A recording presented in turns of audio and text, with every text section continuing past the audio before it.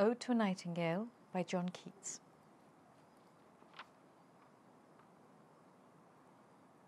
My heart aches, and a drowsy numbness pains my sense, as though of hemlock I had drunk, or emptied some dull opiate to the drains one minute past, and Lethewards had sunk. 'Tis not through envy of thy happy lot but being too happy in thine happiness, that thou, light winged dryad of the trees, in some melodious plot of beech and green and shadows numberless, singest of summer in full throated ease. Oh, for a draught of vintage that hath been cooled a long age in the deep delved earth tasting of flora and the country green, dance and Provençal song and sunburnt mirth.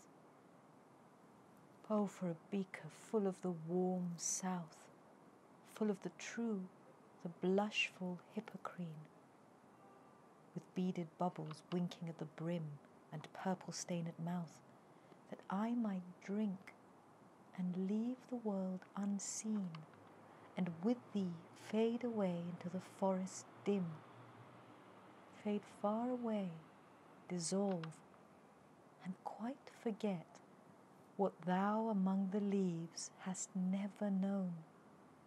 The weariness, the fever, and the fret, here, where men sit and hear each other groan, where palsy shakes a few sad last grey hairs where youth grows pale and spectre thin and dies, where but to think is to be full of sorrow and leaden eyed despairs,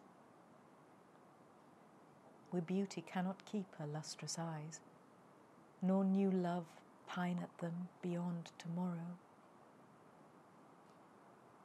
Away, away, for I will fly to thee not charioted by Bacchus and his pards, but on the viewless wings of poesy, though the dull brain perplexes and retards. Already with thee, tender is the night, and happily the queen moon is on her throne, clustered around by all her starry fays. But here there is no light, save what from heaven is with the breezes blown through verdurous glooms and winding mossy ways.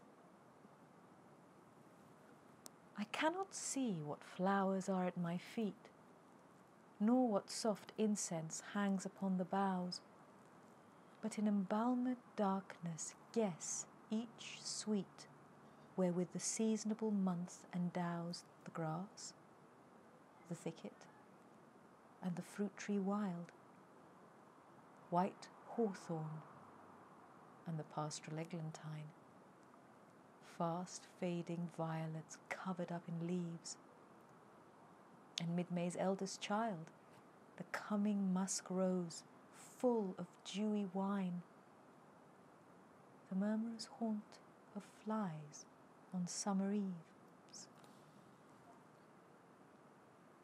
Darkling, I listen and for many a time I have been half in love with easeful death, called him soft names in many a mused rhyme, to take into the air my quiet breath. Now more than ever seems it rich to die, to cease upon the midnight with no pain, while thou art pouring forth thy soul abroad in such an ecstasy Still wouldst thou sing, and I have ears in vain. To thy high requiem become a sod. Thou wast not born for death, immortal bird. No hungry generations tread thee down. The voice I hear this passing night was heard in ancient times by emperor and clown perhaps the self same song that found a path through the sad heart of Ruth when sick for home, she stood in tears amid the alien corn.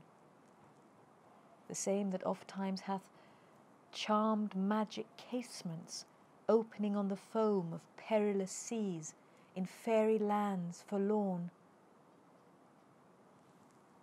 Forlorn. The very word is like a bell to toll me back from thee to my soul's self. Adieu. The fancy cannot cheat so well as she is fain to do, deceiving elf. Adieu. Adieu.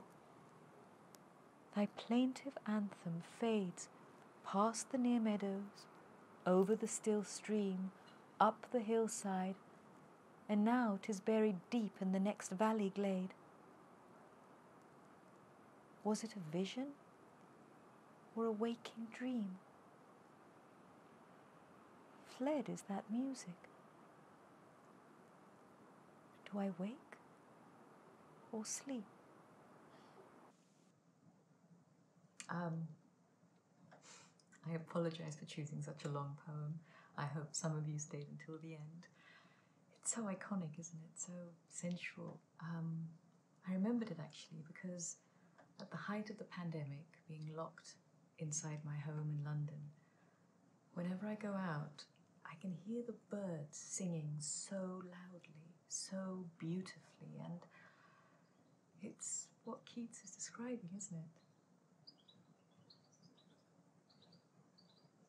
There they are now.